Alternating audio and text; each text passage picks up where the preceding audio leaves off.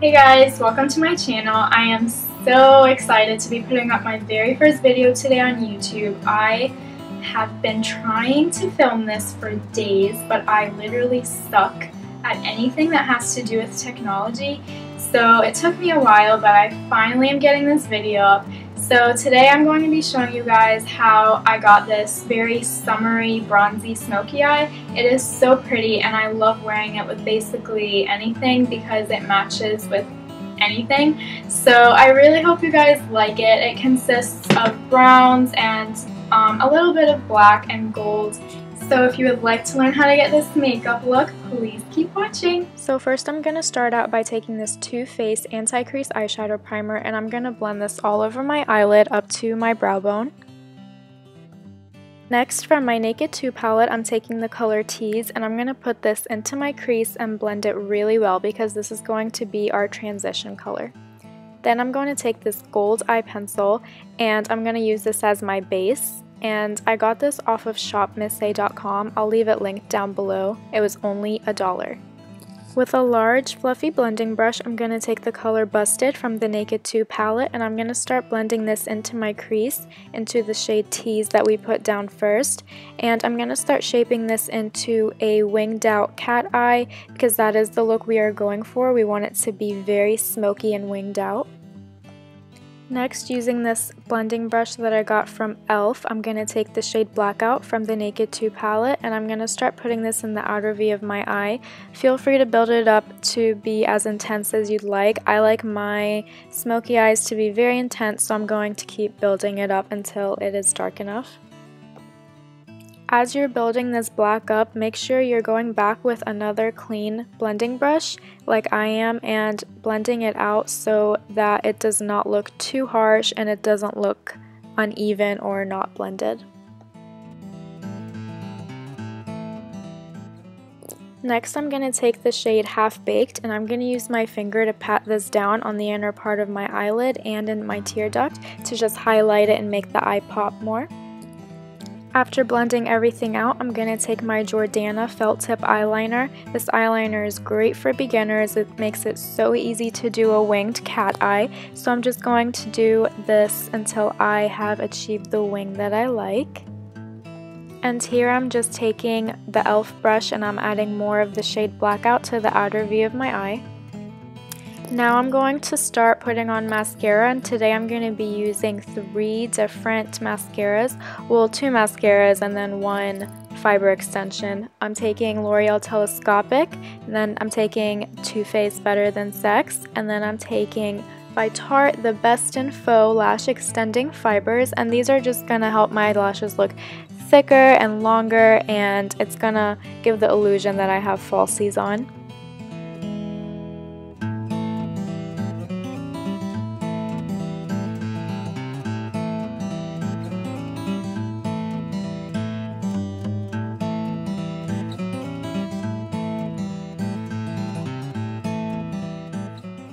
Sometimes the fibers end up falling on my face, so I'm just taking this fan brush and wiping them away.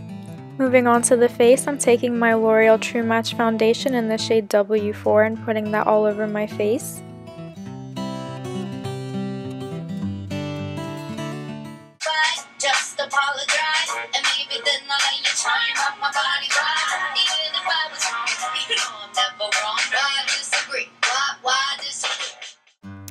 So I'm just going to use my Real Techniques buffing brush and I'm going to buff this into my skin until it is all even.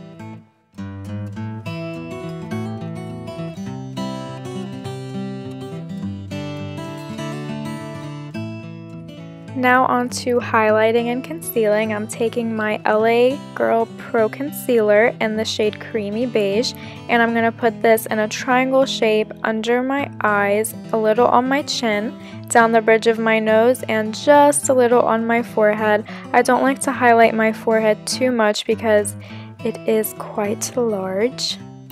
Make sure to take some of this onto the sides of your nose because it's going to help contour it and make it look a lot thinner. To add even more highlight, I'm taking my Maybelline Fit Me Concealer in shade 20 Sand Sable, and I'm just going to put this right on top of the highlight that we just put down.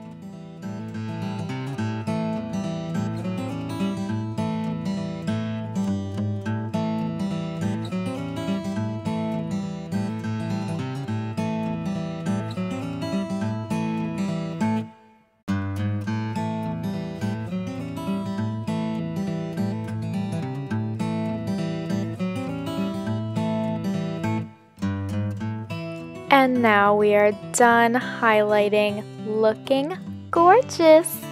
Just kidding. Now using the Real Techniques contour brush, I'm going to blend all of this out.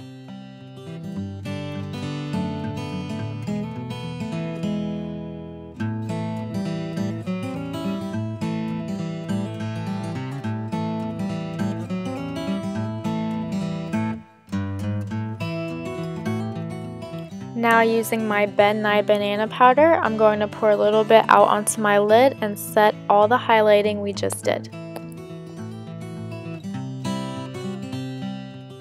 Now using this Tanned Roar bronzer that I also got off of Shop Miss A for only a dollar, I'm going to start contouring and I'm only going to do my cheekbones and my forehead. I didn't contour my nose for this video, but sometimes I do it, but most of the time I skip that step.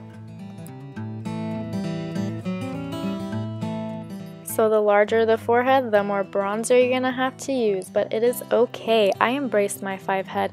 I'm just going to put this all across my entire forehead.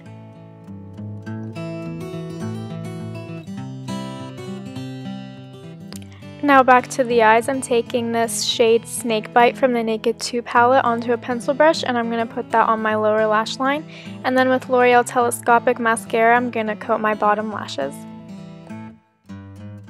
Now with this angled brush, I'm going to take the blush shade Luminoso from Milani and I'm going to put this on the apples of my cheeks.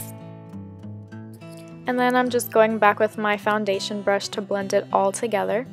We're almost done! I'm taking this Jordana lip liner in the shade Tawny and I'm going to line my lips and then completely fill them in.